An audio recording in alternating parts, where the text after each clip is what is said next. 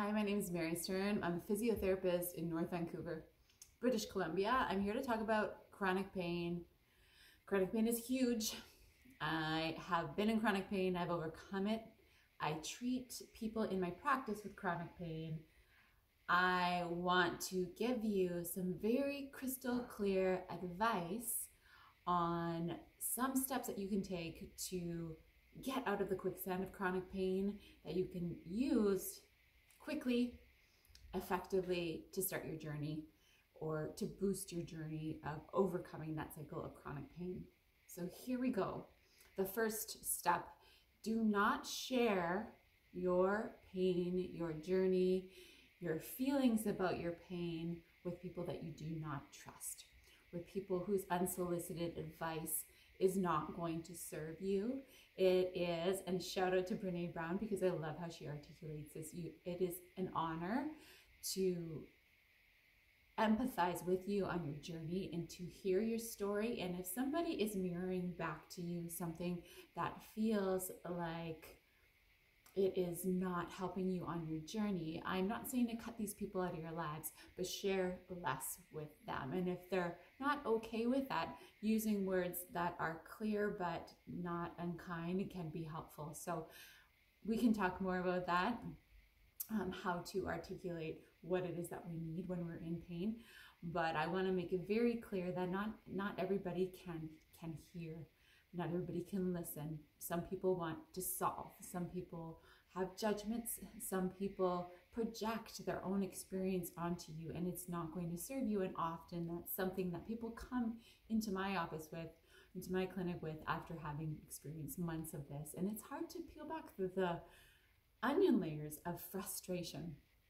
The second thing that I want you to think about doing, if you haven't already, is have an awareness of your body. Have a mindfulness practice. And I know this might be something that you've heard before and then just feels overwhelming. How do you expect me to meditate when the moment I close my eyes and take a moment to scan my body, all I feel is pain. So I'm not saying meditation. For some people, meditation is not going to work well, but maybe yoga is, or maybe dancing is, or maybe going out on the boat and being in the water is. But there's a practice where your nervous system can relax, where your breath can regulate, where you can be in the moment with your body, your mind, your soul, and feel a little bit less in this fight or flight zone. So find that practice, but don't take on someone else's practice don't feel like you have to try them on, but sit with yourself a moment and think about what what would be something that might bring you joy. And again, a mindfulness practice.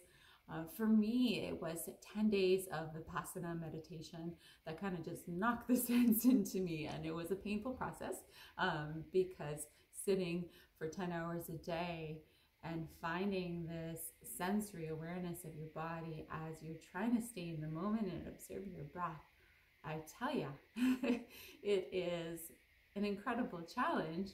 Um, but the beauty that comes out of that discomfort is life changing. So, if you have any questions to me about the Vipassana, it's a nonprofit all over the world. I would love, love, love to share because to me it is the one most life changing thing um, and inspiration that I have had to understand that connection of body, body, body, mind, soul that is absolutely supported by physiological research. And I don't want to digress, so I'm going to get on to the third point. Um, so the, the third thing that I would say to you, if you're coming to me with chronic pain and you're just saying, just give me a few things, give me a bridge, I need something. The third thing is find safe movement. Uh, so if you don't already, if that's not already a part of your mindfulness practice, you have to move more. Now, before you throw spears at me. Um, obviously, there's precautions. So maybe you're post surgical, maybe you've had a neurological consult and something is not quite right. So you don't want to move too much, but there's always a safe movement. And sometimes that safe movement in that moment is just breath, and breath is movement. There is an excursion of your rib cage. There's a movement of your diaphragm. There's natural pressures that get your abdomen to come in and out. Breath is movement. do not be mistaken. But if it's a movement, if you're rigid, if you're holding your body so stiff, you're in fight or flight, you're in a state of possible inflammation, you're not able to heal and not able to deprogram, not able to fall asleep at night. Movement, as tacky as it sounds, motion is lotion and it is so, so necessary to start to heal. The next one, um, and maybe this will be the last one that I share in this video, is understand the fundamental lesson. I'm going to say this really slowly because I, I have not rehearsed it, it's unscripted, but understand the fundamental truth of life that we are in constant change. Why is that so important? It's because we can be reprogrammed. Now, I'm, i know this sounds woo woo. I don't mean it in this way. Our bodies are in a constant state of cellular regeneration. Let we'll go to we'll go to MedPub and look at the research. This is just Western science. However, we need the inputs, and this is where neuroplasticity comes into play. We need the inputs we need a novel movement, that's different movement than we've been doing. We need um, different cues to our brain to correct error messages. So whether that is, you know, maybe you're a patient who has experienced dizziness for a long time and you're like, oh God, I know about neuroplasticity because I've done all the exercises that make you dizzier and I hate it. Well, we know that this this process of changing your body is not always a comfortable one, but this is where you need someone that you trust. Um, and you need to have someone who you trust enough, who's empathized with you, who's that person. And going back to the beginning of what I said, that person that you do feel safe to talk to. And once you do trust to them, let them be your guide. So it's not your story and your fears. And maybe if you're not a physiotherapist yourself or a medical professional yourself, you don't have the full, full picture. So have someone you can trust to be not just your your guide, but your cheerleader, um, your sounding board, and understand that your body is constantly in change. But, big but, we need to write a new story. So, these are the things that if you're if you've tuned in because you're in you're in pain and you're looking for a bridge or you're looking for something that's going to help you break through um, you're looking for maybe just even a moment of understanding to feel like this person gets it. I want you to know that I think you're brave.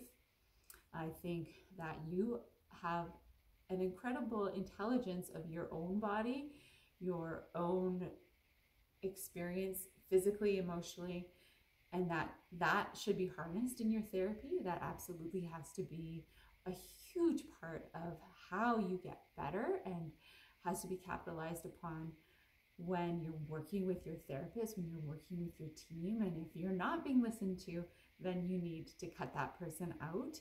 Um, again, you know, there are subtle differences um, in terms of how you can communicate that or how you can communicate your needs. That if you have any questions or if you're going through something and you want a sounding board for that, I'm really happy to discuss because often I think therapists need a little bit of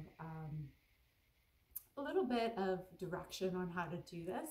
There are a lot of really, really good therapists who do, however. Um, so please try these things. Please reach out. Please know that you're not alone. Please know that you know some of the feedback that I have received from patients that have overcome pain is it has been this pivotal point in their lives where knowing what it is they really truly need to be whole and to have healed, having missed that prior, now they have a, a, new sense of direction, a new sense of empowerment. And yes, it is an uphill battle in the beginning, but once you get there, once you are at the summit, um, again, I'm, you have to forgive me. I am full of cheesy metaphors all of the time. They just they just love to flow like a river out of my mouth. But once you add that summit after that climb, what you can see is is often so much more, so much more vast. So I want to send this message to you of hope. Um, and if there is something else that you would like me to talk about within the realm of physiotherapy and pain, you have any questions, I have just started reaching out to this community as a physiotherapy for me to be the most authentic therapist that I can and reach people that I can with my message of self empowerment, but also understanding the intricacies of how the body, mind, emotional community has to work to empower you. Um, I would love to know what it is that you would like to hear and learn more about. So please reach out to me.